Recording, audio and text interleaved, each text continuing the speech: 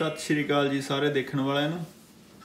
ਅੱਜ ਆਪਾਂ ਬਣਾਉਣ ਲੱਗੇ ਹਾਂ ਭਿੰਡੀਆਂ ਤੇ ਭਿੰਡੀਆਂ ਆਪਾਂ ਨੇ ਧੋ ਕੇ ਨੀਚੇ ਤੋਂ ਇਹਨਾਂ ਦਾ ਡੰਡੀਆਂ ਇਹਨਾਂ ਦੀਆਂ ਕੱਟ ਕੇ ਰੱਖ ਲੀਆਂ ਨੇ। ਉਧਰ ਆਪਣੇ ਤਿੰਨ ਪਿਆਜ਼ ਧੋ ਕੇ ਰੱਖ ਲਏ ਨੇ।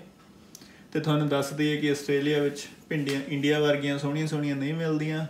ਕਿਸੇ ਕਿਸੇ ਕਿਸਮ ਵਾਲੇ ਨੂੰ ਮਿਲਦੀਆਂ ਹੈ ਆਮ ਤੌਰ ਤੇ ਕਈ ਦੁਕਾਨਾਂ ਤੇ ਹੁੰਦੀਆਂ ਹੀ ਨਹੀਂ ਭਿੰਡੀਆਂ, ਬਹੁਤ ਘੱਟ ਦੁਕਾਨਾਂ ਤੋਂ ਮਿਲਦੀਆਂ ਨੇ। ਜਿਵੇਂ ਇੰਡੀਆ ਵਿੱਚ ਕਹਿੰਦੇ ਹੁੰਦੇ ਆ ਕਿ ਮੁਰਗਾ ਤਿੱਥ ਤਿਹਾਰ ਤੇ ਬਣਦਾ ਹੈ ਆਸਟ੍ਰੇਲੀਆ 'ਚ ਭਿੰਡੀ ਉਵੇਂ ਬਣਦੀ ਹੈ ਤੇ ਇੱਥੇ ਮੁਰਗਾ ਸਸਤਾ ਹੈ ਭਿੰਡੀਆਂ ਮਹਿੰਗੀਆਂ ਏ। ਸੋ ਚਲੋ ਅੱਜ ਫਿਰ ਇੰਡੀਆ ਵਾਲਿਆਂ ਦਾ ਮੁਰਗਾ ਬਣਾਈਏ ਤੇ ਆਸਟ੍ਰੇਲੀਆ ਵਾਲਿਆਂ ਦੀਆਂ ਭਿੰਡੀਆਂ। ਲਓ ਜੀ, ਭਿੰਡੀਆਂ ਤੇ ਪਿਆਜ਼ ਲਏ ਨੇ ਕੱਟ। ਭਿੰਡੀਆਂ 'ਚ ਇੱਕ ਗੱਲ ਯਾਦ ਰੱਖਿਓ, ਜਿਹੜੀ ਕੈੜੀ ਜੀ ਭਿੰਡੀ ਹੋਈ, ਉਹ ਤੁਸੀਂ ਨਾ ਕੱਟਿਓ, ਕਿਉਂਕਿ ਉਹ ਚੰਗੀ ਤਰ੍ਹਾਂ ਭੁੰਨਦੀ, ਭੁੰਨ ਨਹੀਂ ਹੁੰਦੀ ਤੇ ਫਿਰ ਹੋਰਾਂ ਦਾ ਵੀ ਸਵਾਦ ਗਾਲ ਦਿੰਦੀ ਆ ਉਹ। ਤੇ ਇਸ ਕਰਕੇ ਜਿਹੜੀਆਂ ਨਰਮ ਨਰਮ ਭਿੰਡੀਆਂ ਉਹੀ ਕੱਟਿਓ, ਜਿਹੜੀ ਕੈੜੀ ਉਹ ਆਪਾਂ ਨੇ ਕੱਢਤੀ ਆ ਵਿੱਚੋਂ। ਸਰੋਂ ਦਾ ਤੇਲ ਕੜਾਹੀ ਵਿੱਚ ਪਾ ਕੇ ਧਰਤਾ ਹੈ ਇਹ ਜਦੋਂ ਥੋੜਾ ਗਰਮ ਹੋ ਗਿਆ, ਪੱਕ ਗਿਆ, ਇਹਦੇ ਵਿੱਚ ਜੀਰਾ ਪਾਵਾਂਗੇ ਤੇ ਫਿਰ ਪਾਵਾਂਗੇ ਭਿੰਡੀਆਂ। ਤੇਲ ਭੁੰਨਣ ਤੋਂ ਬਾਅਦ ਆਪਾਂ ਨੇ ਇਹਦੇ ਵਿੱਚ ਜੀਰਾ ਪਾਤਾ ਸੀ ਜੀ। ਜੀਰਾ ਜਦੋਂ ਥੋੜਾ ਬਰਾਊਨ ਹੋ ਗਿਆ, ਤਾਂ ਇਹਦੇ ਵਿੱਚ ਹੁਣ ਆਪਾਂ ਪਾ ਰਹੇ ਹਾਂ ਭਿੰਡੀਆਂ। ਥੋੜਾ ਬਚ ਕੇ ਪਾਓ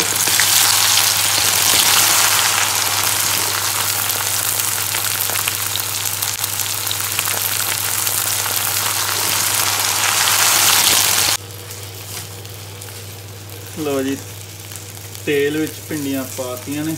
ਤੇ ਜਦੋਂ ਵੀ ਤੁਸੀਂ ਭਿੰਡੀਆਂ ਨੂੰ ਤੇਲ ਵਿੱਚ ਪਾਉਂਗੇ ਥੋੜਾ ਦੂਰ ਹੋ ਕੇ ਹੀ ਪਾਇਓ, ਕਿਉਂਕਿ ਤੇਲ ਦੇ ਛਿੱਟੇ ਉੱਤੇ ਪੈ ਸਕਦੇ ਨੇ।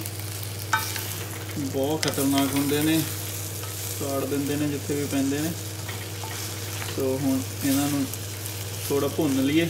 ਜਦੋਂ ਭੁੰਨ ਹੋ ਗਈਆਂ ਥੋੜੀਆਂ ਅੱਧੀਆਂ ਚ ਭੁੰਨ ਹੋ ਗਈਆਂ, ਫਿਰ ਆਪਾਂ ਇਹਨਾਂ 'ਚ ਪਿਆਜ਼ ਪਾਵਾਂਗੇ।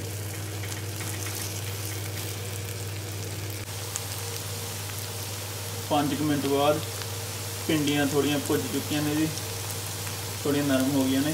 ਹੁਣ ਇਹਨਾਂ ਵਿੱਚ ਪਾਵਾਂਗੇ ਪਿਆਜ਼। ਸਬਜ਼ੀ ਥੋੜੀ ਜਿਹੀ ਬਣ ਚੁੱਕੀ ਹੈ। ਹੁਣ ਇਸ ਵਿੱਚ ਪਾ ਦੇਣਾ ਆਪਾਂ ਨੇ 1 ਚਮਚ ਨੂਣ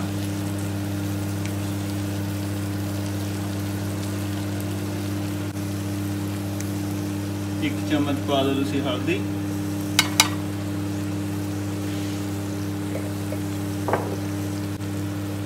ਥੋੜਾ ਜਿਹਾ ਗਰਮ ਮਸਾਲਾ ਪਾ ਦਿਓ। ਅੱਧਾ ਚਮਚਾ। ਉਸ ਤੋਂ ਬਾਅਦ ਪਾ ਦਿਓ ਥੋੜੀ ਮਿਰਚ, ਲਾਲ ਮਿਰਚ ਪਾ ਦਿਓ। ਜੇ ਹਰੀ ਮਿਰਚ ਪਾਉਣੀ ਹੈ ਤਾਂ ਪਹਿਲਾਂ ਪਾ ਦਿਓ। ਭਿੰਡੀਆਂ ਦੇ ਨਾਲ, ਹੁਣ ਅਸੀਂ ਲਾਲ ਮਿਰਚ ਪਾਤੀ ਹੈ ਤੇ ਹੁਣ ਇਹਨੂੰ ਮਿਕਸ ਕਰ ਦੇਣਾ।